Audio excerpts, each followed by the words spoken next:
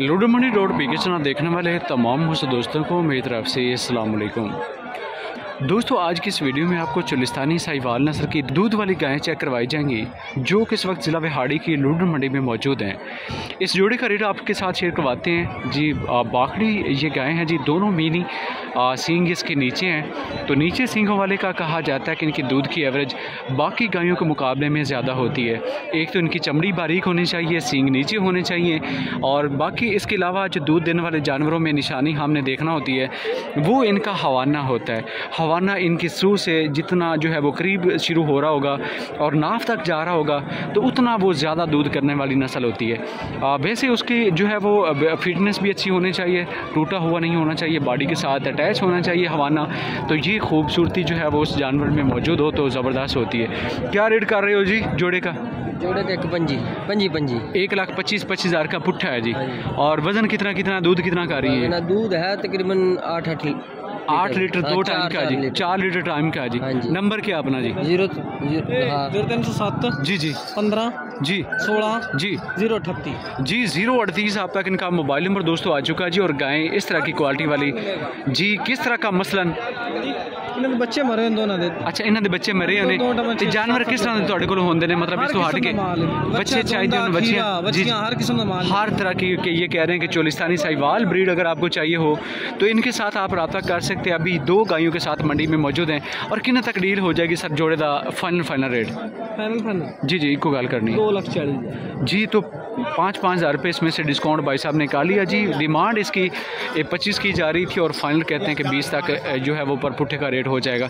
Number پہ رابطہ کر لیجیے گا۔ نمبر آپ کے ساتھ میں نے شیئر کروا دیا، نمبر پہ آپ رابطہ کریں اور ڈیٹیل لے کر آپ ان سے، ان گائیوں کی خریداری جو ہے وہ یقیناً کر سکتے ہیں۔ آگے کی طرف بڑھتے ہیں۔ جی مزید آپ کو قیمتوں کے حوالے سے ہم گائیڈ کریں گے اور یہاں پر جو جانور موجود ہیں، ان کو آپ دیکھتے دیکھتے جائیں۔ کوالٹی جو ہے وہ آپ پہ ڈیپینڈ کرے گی کہ آپ کون سے جانور جو ہیں وہ کس کیٹیگری کے پرچیز کرنا چاہتے ہیں۔ لیکن کیا ہے کہ سہیوال چولستانی اس علاقے کی دو سو لوکل بریڈ ہے اور اسی حوالے سے آپ آپ نے نے جو ہے وہ اس منڈی کا وزٹ کرنا ہے۔ کچھ دوستوں کے کمنٹس بھی آئے تھے، کہتے ہیں کہ اب منڈی کو گزرے ہوئے اتنے دن ہو گئے ہیں۔ دوستوں، ہمارے پاس ڈیٹا جو ہے وہ کافی ایک ہفتے کا موجود ہوتا ہے۔ جس ویڈیو کی جب باری آتی ہے تو وہ اپنی باری پہ اپلوڈ ہو جاتی ہے۔ لیکن ہمارا جو مقصد بنانے کا ہوتا ہے، وہ منڈی میں آپ کو جو ہے وہ انفارمیشن شیئر کروانا اس لیے مقصد ہوتا ہے کہ آپ اگر نیکسٹ منڈی میں آئیں تو گزشتہ منڈی کا ریٹ وغیرہ جو ہے وہ آپ کو اس کا علم ہونا چاہیے تاکہ آپ جو ہے وہ پرائز کے حوالے سے بھی آگاہ ہوں اور منڈی منڈی کے جو جانور ہیں وہ کوالٹی وائز کیسے ہوتے ہیں ان کا بھی آپ کو پتا ہونا چاہیے۔ جی السلام علیکم۔ وعلیکم السلام۔ سر کنے دن باقی کٹتی گاں تھوڑی جی؟ دس دن۔ اور کن کنواں ہوا ہونا جس ڈیلیور کرنا ہے؟ دوسرا جی۔ دوسرا جی کنا دودھ تمہیں لگتا ہے کہ کرے گی؟ ہوانا پچی کلو دیں جی، اچھا۔, اچھا۔ ٹھیک ہو گیا۔ سر کی ڈیمانڈ کر رہے ہو جی اسی؟ ڈیمانڈ ساڑھے تین لاکھ۔ کنے تک ڈیل ہو جائے گی فائنل فائنل تین تین دس تین پندرہ ٹھیک ہو گیا۔ نمبر کی تھوڑا جی؟ زیرو تین سو چار۔ 18 17 137 لوکیشن کیسے جگہ دی تھوڑی پاک پتن۔ جی پاک پتن شریف کے یہ بھائی صاحب جو ہیں وہ ریشی ہیں جی اور منہ سے یہ کہہ رہے ہیں کہ چھ دانت ہے کوالٹی چیک کر لیں۔ ماشاءاللہ سے بڑی زبردست باڈی میں ان کے پاس یہ موجود ہے۔ خریدنا چاہتے ہوں تو نمبر پہ رابطہ کریں۔ اور تفصیل لے کر آپ اس گائے کی خریداری ان سے یقیناً جو ہے وہ کر سکتے ہیں۔ آگے کی طرف بڑھتے ہیں۔ جو مزید آپ کو قیمتوں کے حوالے سے ہم گائیڈ کریں گے لیکن جانوروں کی تعداد جو ہے وہ دوستوں بہت کم ہے۔ انتہائی کم تعداد میں جانور اس منڈی میں آج موجود ہیں۔ وجہ اس کی جو ہے وہ کوئی بھی ہو سکتی ہے لیکن مزید آگے چل کر میں آپ کو اس کے بارے میں بھی ڈیٹیل شیئر کروں گا کہ کیا وجہ اس کی ہے کہ جانور کام کیوں پہنچے ہیں جی۔ کیا ریٹ کر رہے ہو جی؟ اس کی دو لاکھ ساٹھ ہزار جوان دو لاکھ ساٹھ ہزار؟ ہاں، اور پیور۔ جی کہتے ہیں کہ پیور چولستانی ہے دو لاکھ ساٹھ ہزار روپے اس کی پرائز کی جا رہی ہے۔ دس دن یہ لے گی باقی سونے میں۔ اور گائے کو چیک کریں۔ نمبر کی تھوڑا جی۔ تین سو چار ستارہ ستاوی تین سو اناسی۔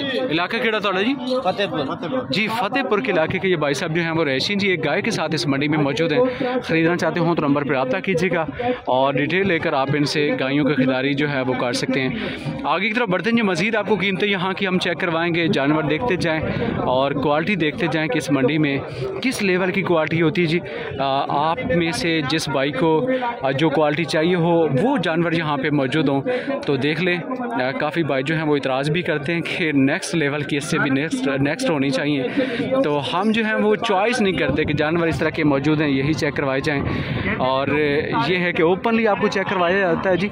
اس میں یہ ہے کہ آپ نے خود دیکھنا ہوتا ہے کہ آپ کی ریکوائرمنٹ کے مطابق جانور یہاں پہ موجود ہیں یا نہیں۔